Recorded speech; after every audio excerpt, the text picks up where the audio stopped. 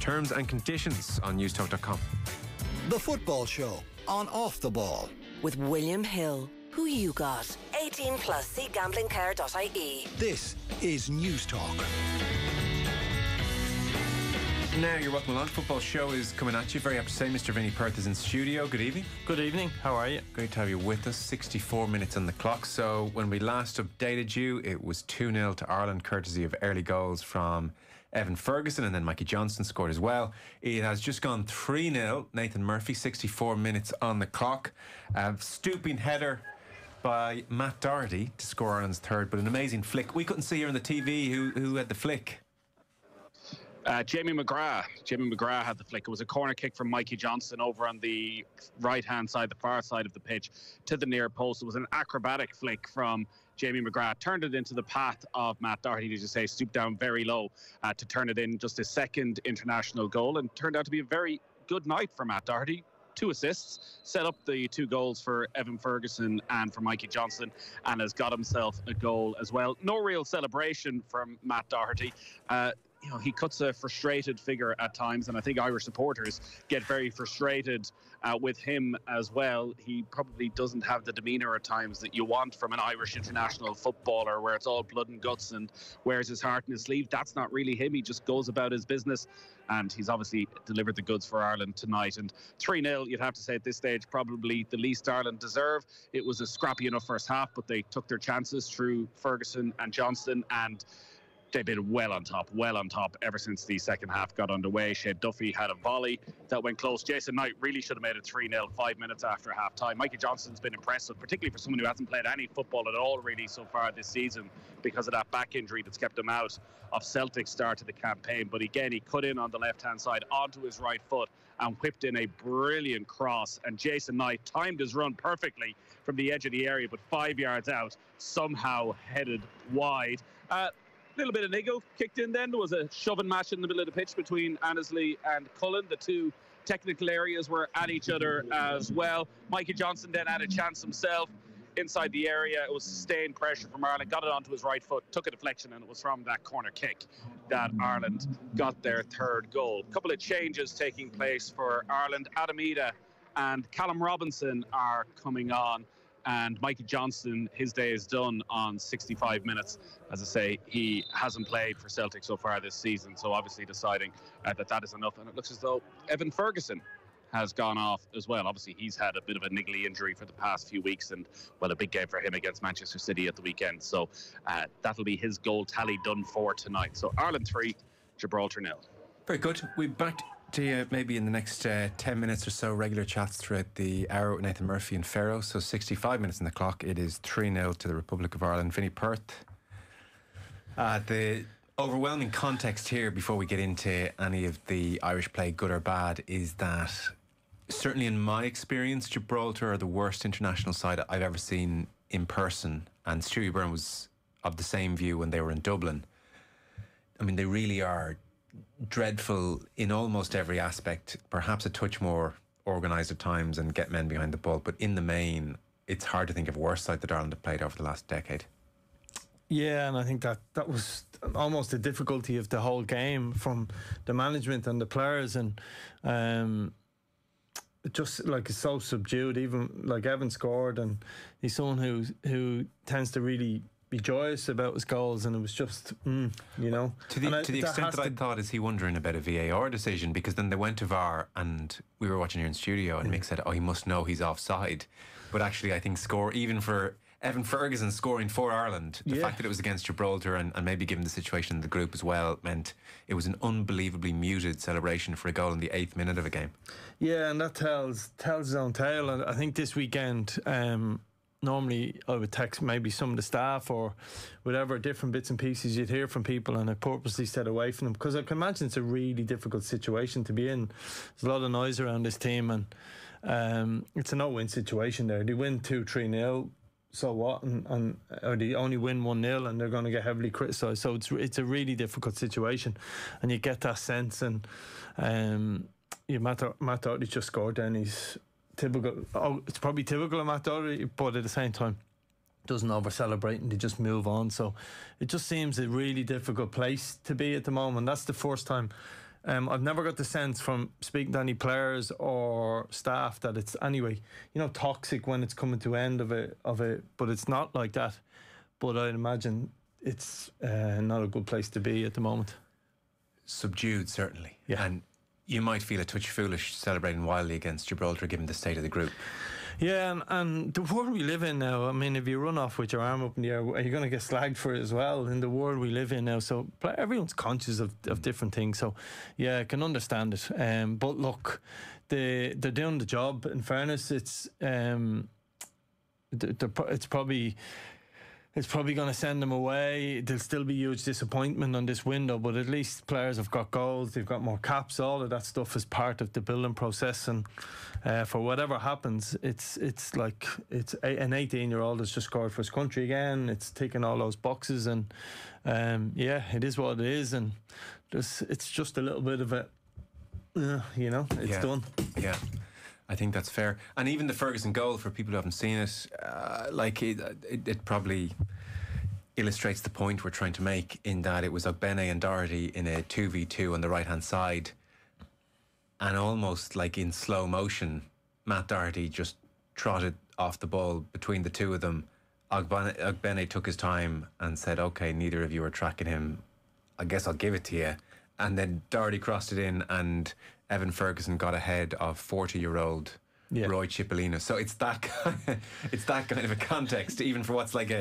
If it was happening at high speed and against a better team, you'd say it was a good goal, but it, it you couldn't say it was a good goal under those circumstances. No, uh, just uh, and I suppose I've been consistent with it. When you play a lesser nation, um, and and some of the, the trouble that the, the sort of staff, the manager is in is because we haven't got results against team ranked around us and below us. We can all handle. Like we've had some great performances against Portugal, uh, France, Holland, but I think this system, and I, and I keep going back to it. Yes, I know you've just made the point uh, around the 40 year old centre half and not tracking people back.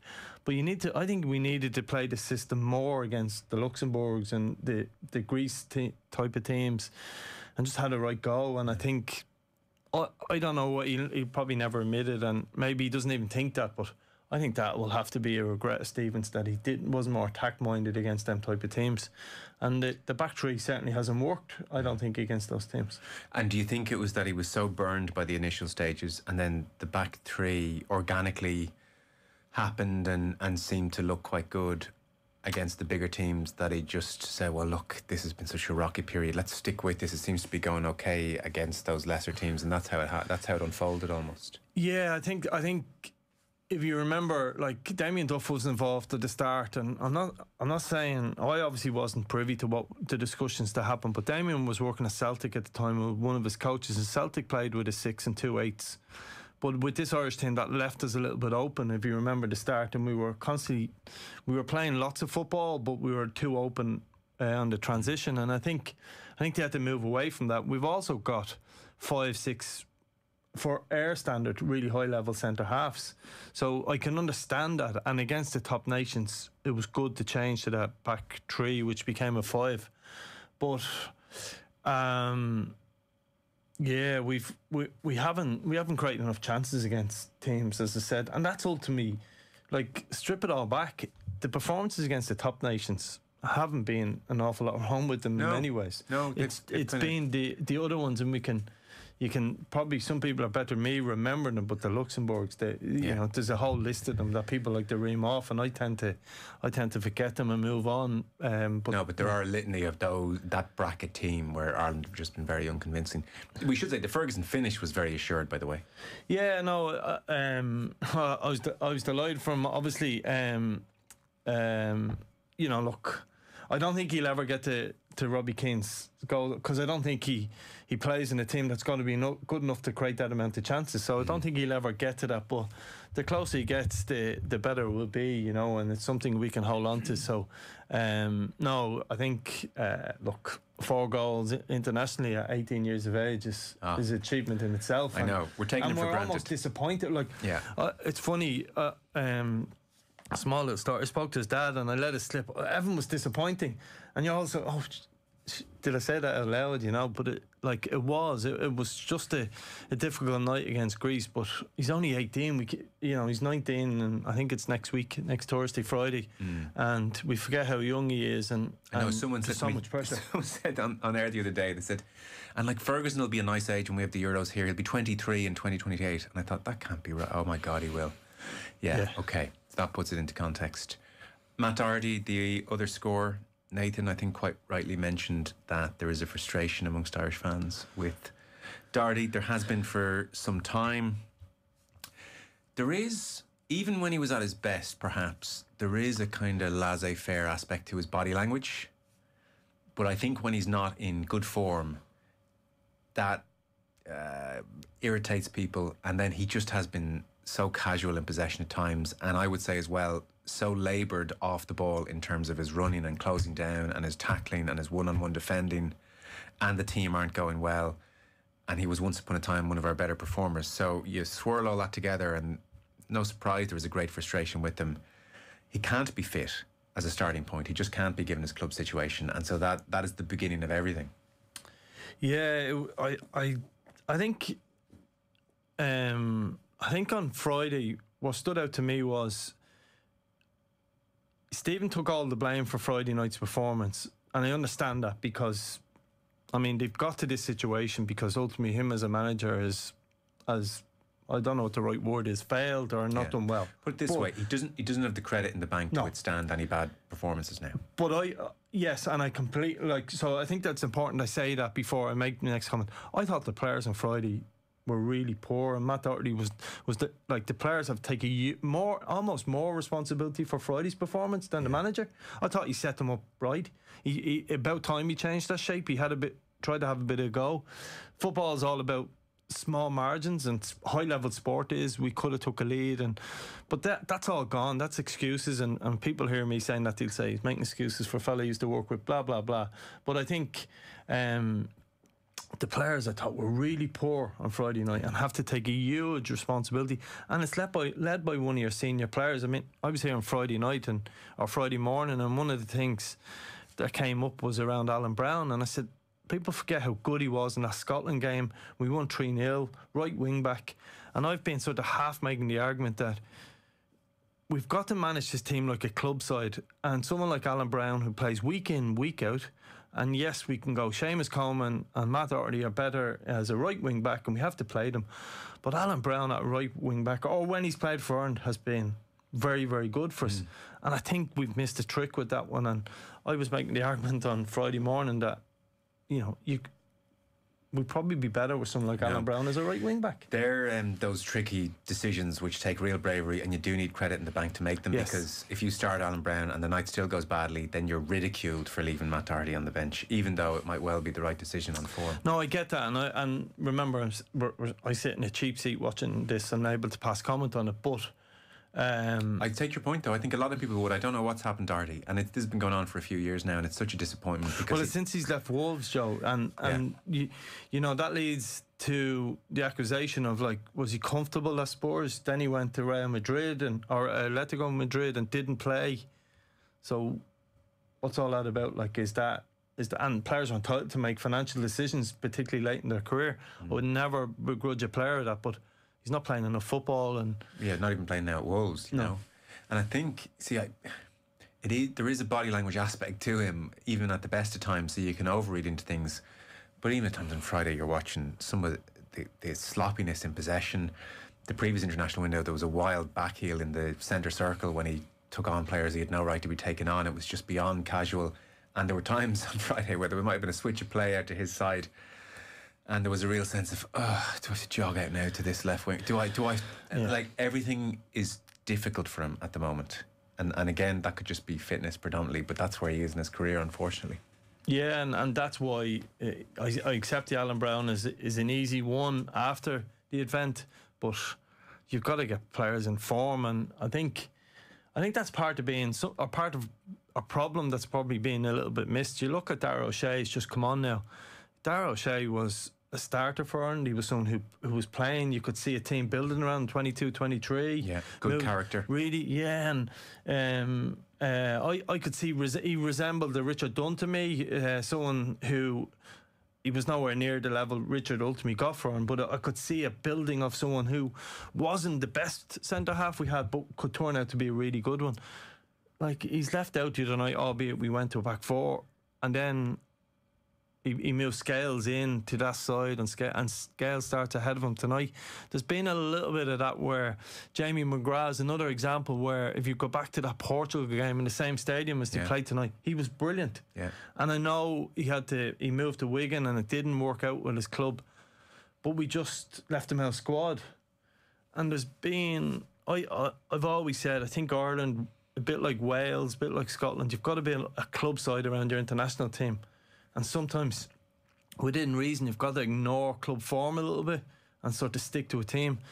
And I think when we when we sort of really go through the sort of Stephen Kenny era, we probably look back and say there's been a lot of changes where, I mm. mean, some of them have been forced, but Troy Parrott and his performance against Scotland, and then he can't get into the squad, and just just use Dara O'Shea, Yeah. uh, Parrott. Does it? There's a lot of examples of that, which just seems a little bit. That's on Stephen, like for me, and that's the bit I'm I'm a little bit confused by.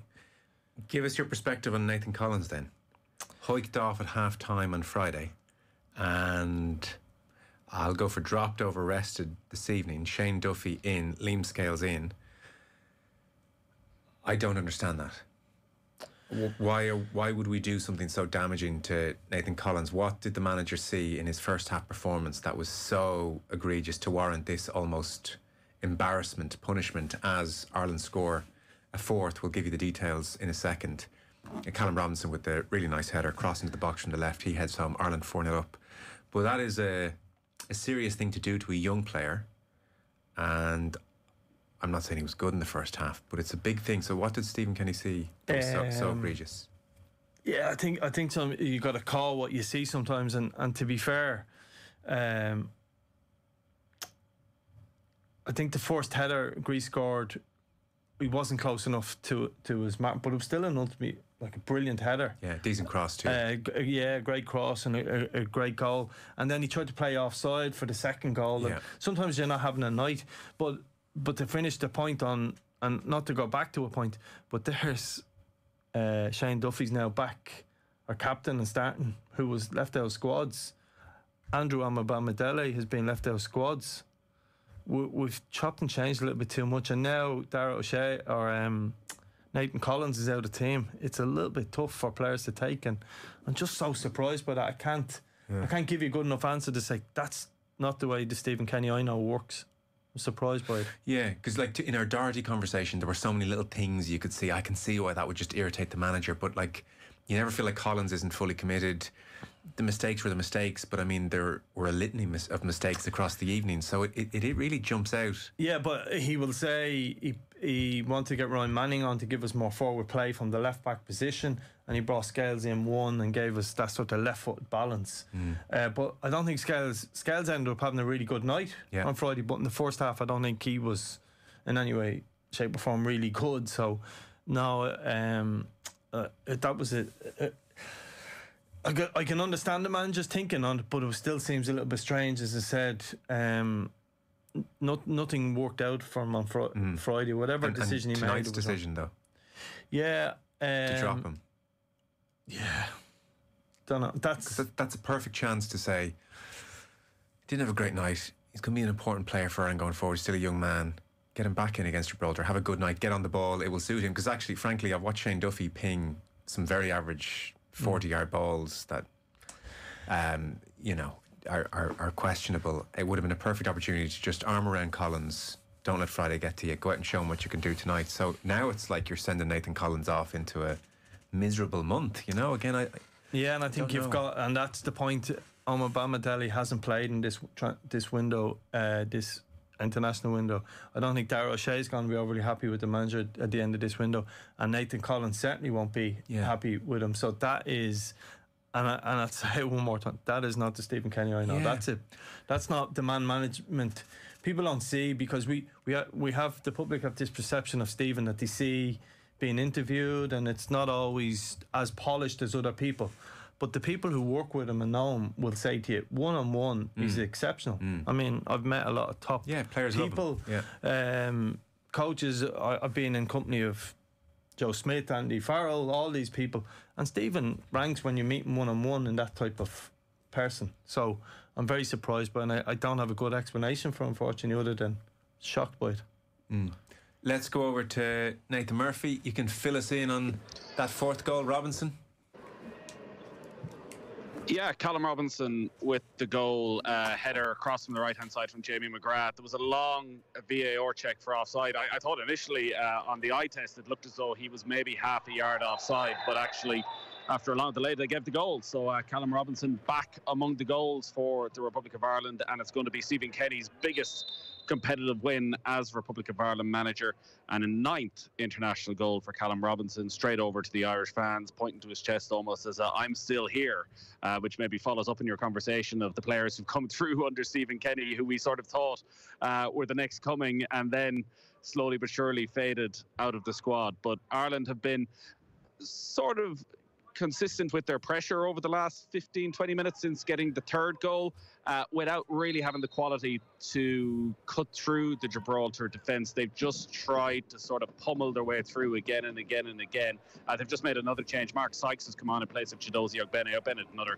good, solid game, and certainly one of those who will uh, look back on the Stephen Kenny era with a lot of fondness from getting his debut with Stephen Kenny over in Hungary to somebody who has really flourished uh, at club level off the back, you feel, of what he's been able to do at international level. But it's, it's so interesting listening to you talk there when you think back to that night against Portugal and the late goals for Cristiano Ronaldo. I would, I'd be very interested in Stephen Kenny's thoughts if you were to have said when we come here two years on that Dara O'Shea, Nathan Collins, Andrew Omobamidele, Jason Molumby, Adam Idah, Troy Parrott, that none of them would have been in his starting 11. And most of them fit and available. Uh, it shows that he put a lot of faith in them very quickly, but for various different reasons, it just hasn't worked out.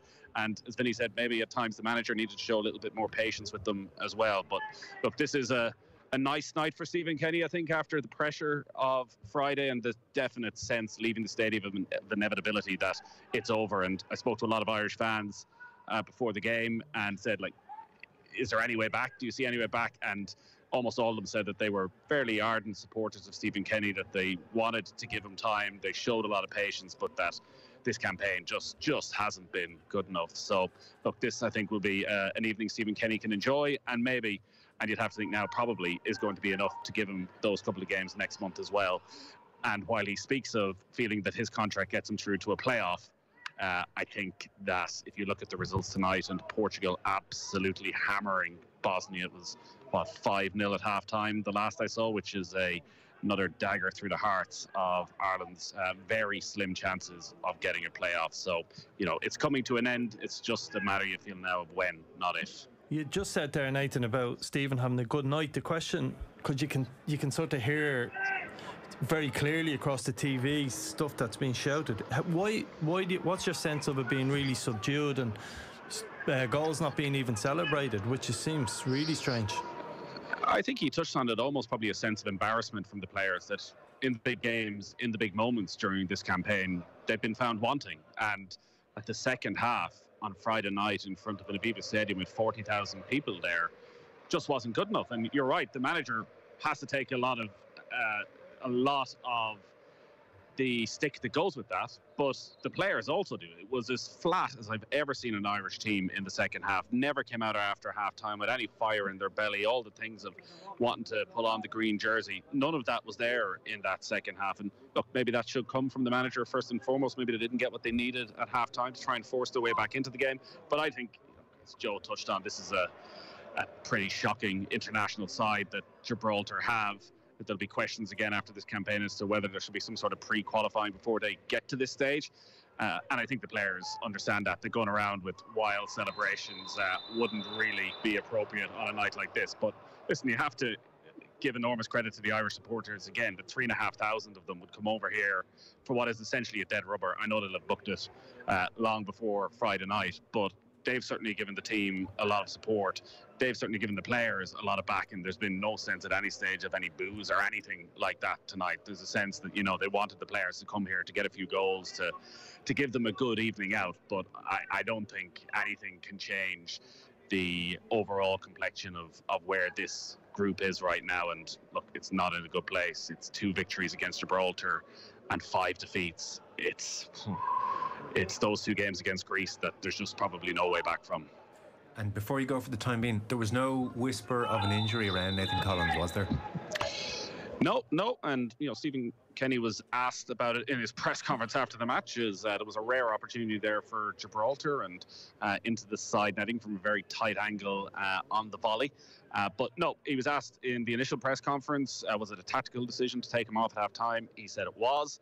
Uh, I asked him yesterday again, had he spoken with Nathan Collins? Was there any feedback from Nathan Collins? So you'd have to imagine playing week in, week out in the Premier League, been somewhat embarrassingly hauled off at half time. Uh, mightn't have been too happy about it. Now, if there was any uh, chit chat between manager and player over the couple of days, Stephen Kenny certainly was denying it. But no, I think this is clearly a, a tactical decision that Kenny has made and maybe uh, trying to show his frustration with the player that you know he might feel that the two goals are largely down to the mistakes that the Collins made. I think Collins is going to be a big part of whatever Ireland do over uh, the next few years. You'd have to feel the level he is playing at. But look, he has. He's, he's so young that most centre backs at that age make mistakes. We have just such high expectations from that. The couple of errors he's made already for this season at Brentford, when they play such a risky brand of football, the way they try and play it out from the back. They Thomas Frank wants them to take on that pressure, wants them to take on that load of bringing it right up into a player's face before you release it. And sometimes he takes that little bit too much out of it. It was just pure bad defending on on Friday night. But as I say, I think if we were sitting here 18 months ago, we probably would have thought an Irish defence tonight might be a back three of Omobamidele, Collins, and O'Shea, and all three of them sat on the bench.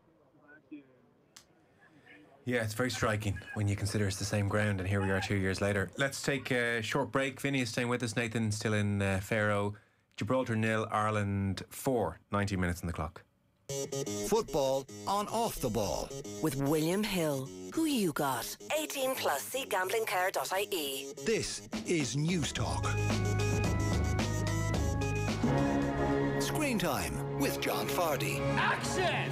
This week on the show, I talked to legendary Irish director Thaddeus O'Sullivan about his new movie, The Miracle Club, which sees a group of women in 1960s working class Dublin head to Lourdes looking for, well, miracles. Booker Prize winner John Banville chats to me about his favourite film, and Chris Wasser reviews the week's new movie releases. Screen Time with John Fardy. Listen to the podcast now on newstalk.com or the Newstalk app powered by Go Loud. Newstalk.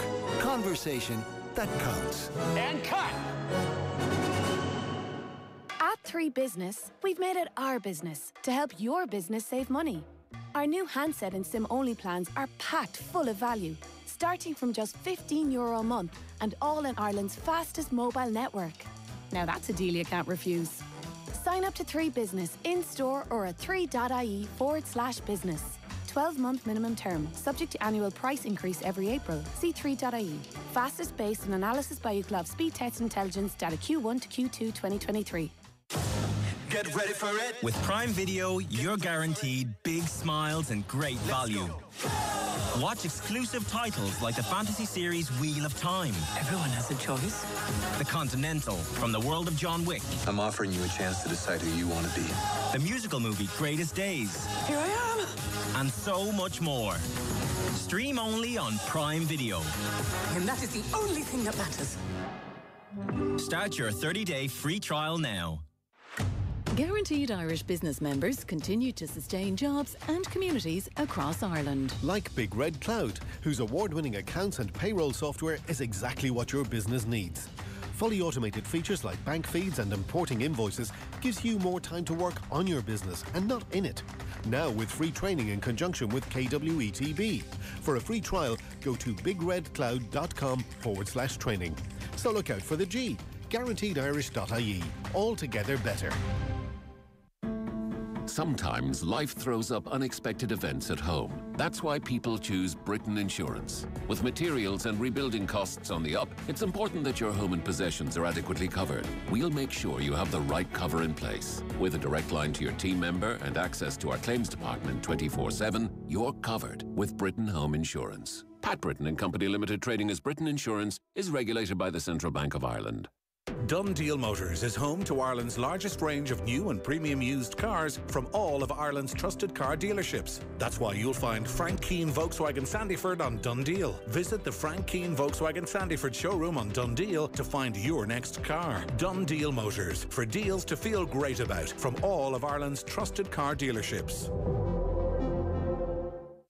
Football on off the ball. With William Hill. Who you got? 18 plus cgamblingcare.ie. This is Newstalk. You're very welcome back. So Gibraltar nil, Ireland four is into added time, and it's been a comprehensive victory. Ireland were never going to lose this game, and in fairness, it's a perfectly respectable scoreline for an under pressure team, an under pressure manager. Very muted atmosphere, even when they scored the goals, as we've been noting. If you're just uh, tuning in. Vinny Perth is here in studio. Nathan is at the stadium. Just to bring you up to speed on uh, dreadful news, really, in this world of ours, which is just um, in a strange old place, I think it's fair to say. So, Brussels is on its highest level of security alert after two Swedish, I'm presuming Swedish fans, it's Sweden playing Belgium this evening, two Swedes were shot dead in the centre of the city. Uh, Belgium's Prime Minister reports The Guardian suggested that the attack was linked to terrorism. So he's offered his uh, condolences to the Swedish Prime Minister. As close partners, the fight against terrorism is a joint one. So police have warned that the suspect remains on the run. Uh, the alleged gunman wearing a fluorescent orange jacket fled the scene after using an automatic rifle. That's according to local news reports. Uh, media reports aired amateur videos showing a man firing several shots near a station using a large weapon. Belgian broadcasters said the two victims were Swedes. So obviously, the Swedish team played the first half, it seems, and presumably the players heard what had happened at half time, or somebody thought, we're not, you know, this is not right to continue playing. So the match has been abandoned at half time. Uh, the incident happened about 5k away from Heysel Stadium. The crowd have been told to stay inside the stadium. And uh, there is a video claiming responsibility, says The Guardian, for the shooting circulating on social media in which a man speaks Arabic, a source close to the case uh, said. So the threat level in Brussels raised to level four, rest of the country to level three. So just um, shocking situation in Belgium around this game. And that game, needless to say, has been abandoned. So that's the latest news from uh, the world of football this evening. Uh, Vinny still here in studio uh, Nathan at the game where it's gone full time. So uh, Greece and the Netherlands have drawn nil all. So it does mean Greece are in second place. They have played an extra game to the Netherlands. And Netherlands will play Republic of Ireland in the final round of fixtures, and uh, we'll go from there. Uh, Nathan, you're back with us.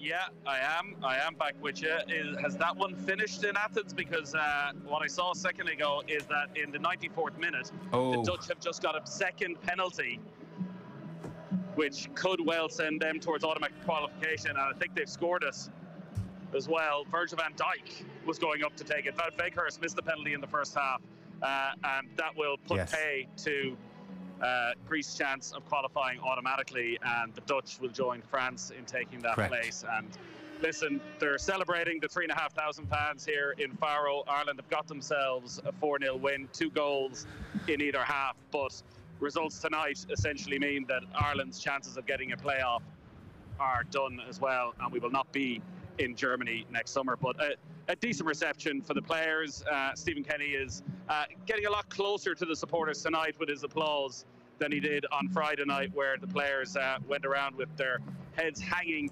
Uh, after what had happened against Greece, and Stephen Kenny, just the, the look on his face and looking at him on the screen here in front of me, almost uh, a thankful applause to the Irish fans for sticking with him and appreciative of the fact that they've made this trip and uh, that he's probably had this night and this rare moment of joy, particularly over the last 18 months. As you can hear, there's a bit of singing, bit of dancing, and uh, everything you'd expect when you come to play Gibraltar. Well, I suppose, Nathan, these would be his most ardent supporters, the most hardcore supporters of the Irish team, who I, I think have never really wanted to see um, Stephen Kenny uh, uh, go this way. And, I, and, and probably a lot of them might still be the last few who'd be saying, you know what, maybe there's something still here. They, they would be his people, his constituency. Yeah, they absolutely would, and uh, maybe the most important constituency in that they are the ones who are travelling here on a what is it, a Monday night to Portugal in October to come and support their team against Gibraltar. And, you know, they're hardcore Irish football fans. I do think that the vast majority of them have changed their tune over uh, recent months. Particularly the defeat against Greece was an absolute killer for any sort of momentum that they had. And then the defeat on Friday night and the atmosphere in the stadium, the fact there was barely anybody left and anyone who was left was booing the team off the pitch, uh, probably tells you where they are. This is a nice little moment, I think, for the players and a little bit of light relief that they get to have this and, you know, more of a spring in their step when they go to Amsterdam next month to take on the Netherlands. But I think, unfortunately, for Stephen Kenny, even his most ardent supporters feel that the results they just haven't been there. And as he said when he spoke to the Sunday newspapers, that you know anything he says will sound like an excuse, and he's all out of excuses at this stage. So yeah, it's. I'm sure Stephen Kenny will uh, enjoy this, and it'll be interesting to hear what he has to say and how he tries to pick this up. But I don't think there's a huge amount you can really take from uh, beating Gibraltar by four goals to nil. They brought on Lee Casciaro in the second half. He's 42 years of age. Uh, they had a 40 year old starting at centre back. And look, Ireland were full value for the 4 0. They got that early goal through Evan Ferguson. Mikey Johnston had the second by half time. And that's what you want on a night like this. You've, you've totally eased the pressure that's on you because we saw when Gibraltar came to Dublin and scored us at half time, and you're going, wow, is this the night? Is this the night that they finally go and get something? But, you know, they pushed on. They certainly deserved that third goal through Matt Doherty. Callum Robinson comes off the bench, he gets one as well. So it was a good, solid, professional job. Well done, but it does feel as if we're in a different phase now in terms of this Irish management position, and that uh, the next month is probably going to be dominated more so by speculation as to who will come in next rather than whether Stephen Kenny will stay in the role. Yes. And Vinny, I mean, given your uh, relationship with Stephen Kenny, I mean, there's going to be no sense of you calling for a head or saying, you know, wanting taking any relish in talking about the next Irish manager. But it, it does, I mean, look for all the world like this is the long goodbye at the moment. It is very hard to make a a really strong case for Stephen Kenny to have his contract renewed. Even Stephen Kenny, as Nathan referenced in his press conference, for the very first time said, "Well, look, there's no point in me making an argument. I can't win it anyway. The, the weight of results are such."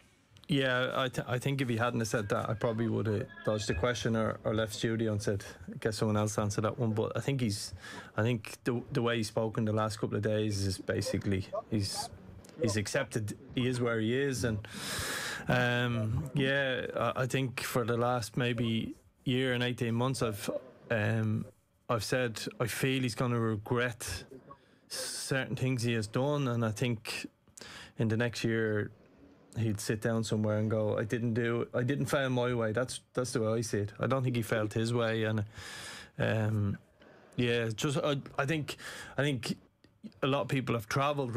Like a lot of people from sort of outside the inner workings of Irish football didn't understand why he got so much support. But we probably wanted one of our own to do really, really well, and I think people are gutted that hasn't worked out. And I, would actually be one of them. I, I, am gutted it hasn't worked out for him because um, the solution, the solution to this problem is probably flying someone in and out for a couple of internationals and then heading back to somewhere else and that's not good for where we are in Irish football, and we won't go into that tonight. But I went on a big enough rant about that last Friday here. So, but um, I, am worried about where we're going next, and that's the problem.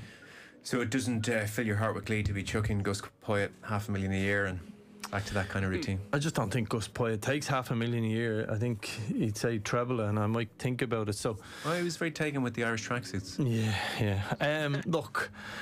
Um, there is an argument to make that someone of a higher level could get more out of this team. But also, I think it's worth somebody making the point, and I, have probably been critical of Stephen as well. So I think it's fair that I make the point to say there's a huge amount of heavy lifting done with this team as well. And I think I think we have to we have to oh. bring that up at different stages. Yeah, and Who, say whoever the next manager in and the manager after that yeah. in owes Stephen Kenny a Christmas card. Absolutely, and and but that's not a that's not a pass. I'm not trying to make a pass before No, anyone jumps in. it's a reality. It's a- of, it, it is an aspect of the job he has done. It Ye- has been a period of transition which he has overseen, and And it's not just being around the players, the the, the staff. Um, when players come in, there's such a high level in the UK, in particular, of way clubs are run between between the, the GPS to between uh, sports science, between the medical departments. All of that stuff has been improved under Stephen. That's what players will tell you. It's they will say that that that part of us improved. So I think I think look credit where credit's due for that part. But ultimately, like look, results are results, and I just I just concerned about where we're heading, and and this is just another sort of another hammer blow for people who live on the ground. I don't just live on the ground in terms of Irish football. I love football. I'll be in Man- Manchester City and Brighton this Saturday just as a fan. So I do the same thing as all those people that us so-called hardcore criticise. Um, delighted that the Euros is coming. I'm just not happy that it's taken away from fixing other stuff. But this is just another bit of a blow, I feel, to Irish local soccer, if that word makes sense. I think this is another blow to how this is going to end. And um, it's just another stick to beat us with. But look, we are where we are. The results haven't been good enough. And ultimately, I don't think Stephen can have any complaints. Nathan, a final word from you. I suppose what what you can take from this evening is that disaster averted. If tonight had been a laboured 1 0 win, or even worse, as hard as that is to fathom against such poor opposition, then there would have been a groundswell of opinion that the plaster needs to be torn off now as opposed to next month. Whereas a win tonight, it's a degree of coolant on the situation. And I suppose Stephen Kenny gets his farewell on that Tuesday against New Zealand after the game in Amsterdam. And that's that's where we are. The the long goodbye goes on for another month. Yeah, I think that's exactly it. Like it's interesting you say a laboured one 0 win. I it one thing I would point out as this conversation happens over the coming months is there's going to be an awful lot of revisionism about what's gone before Stephen Kenny. A laboured one 0 win away at Gibraltar is what happened the last time we played them under Mick McCarthy. Likewise, it was a laboured 2 0 win when they came to Dublin these sort of performances, these struggles have been coming for a long, long time. The latter end of the Martin O'Neill era, post Euro 2016, there were some tough times. We were on the edge of the cliff, it felt, with Mick McCarthy, and obviously it feels we've fallen over that now.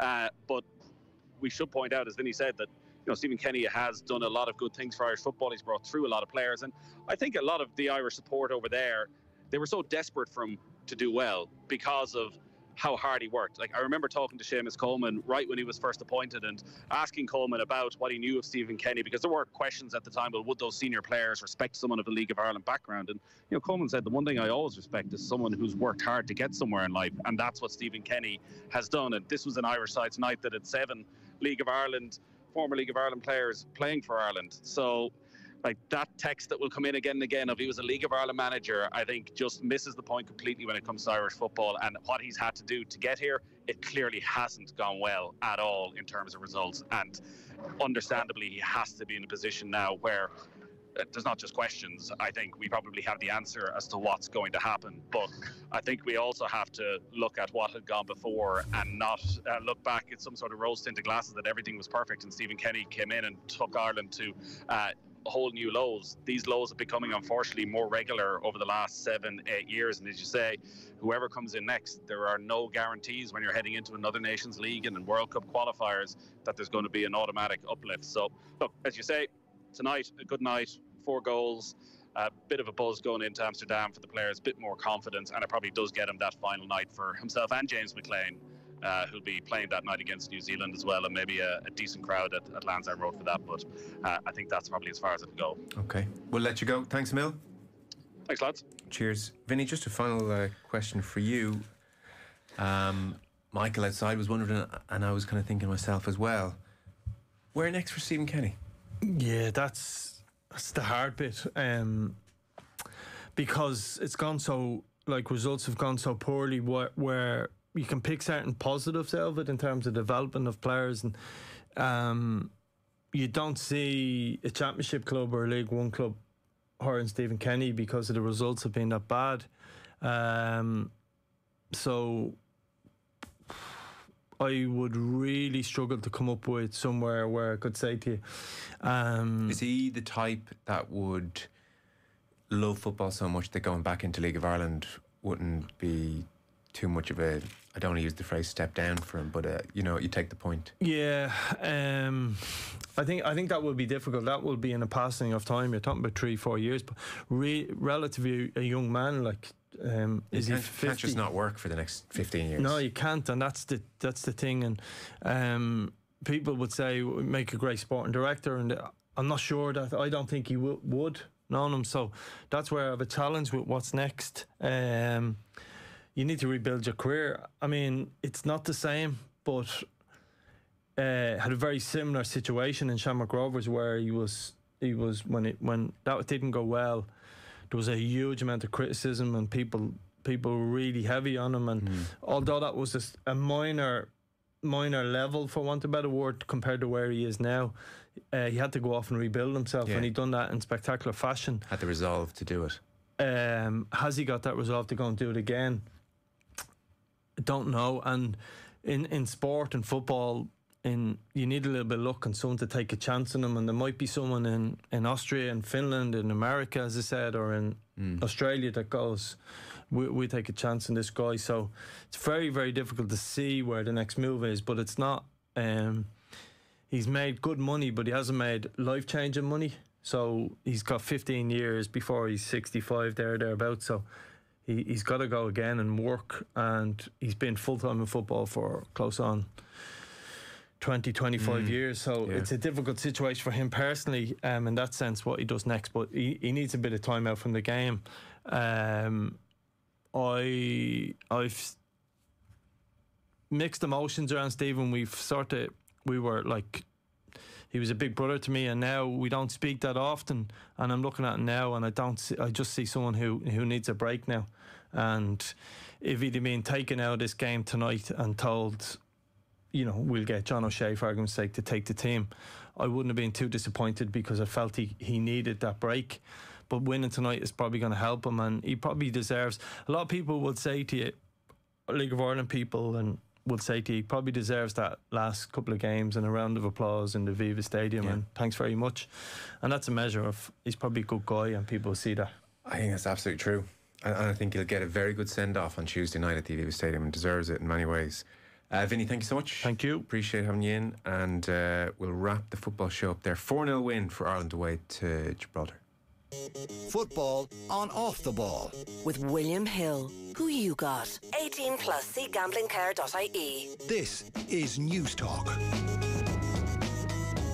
Hey, did someone put the immersion on? Yeah, me, Dad.